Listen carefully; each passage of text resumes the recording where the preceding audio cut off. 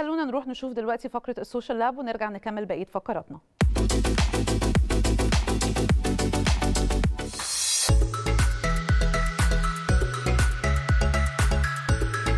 وده ميعادنا مع فقرة ال social lab.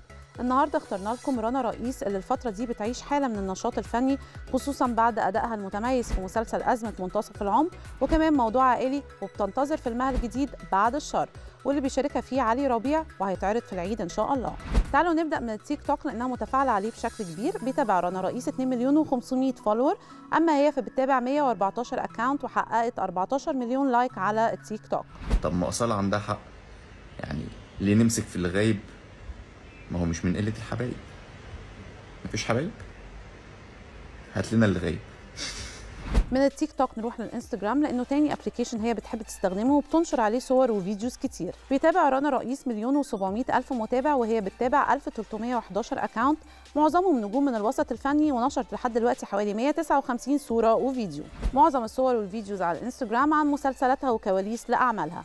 فلقينا إنها نشرت أكتر من 30 صورة لأعمالها الفنية.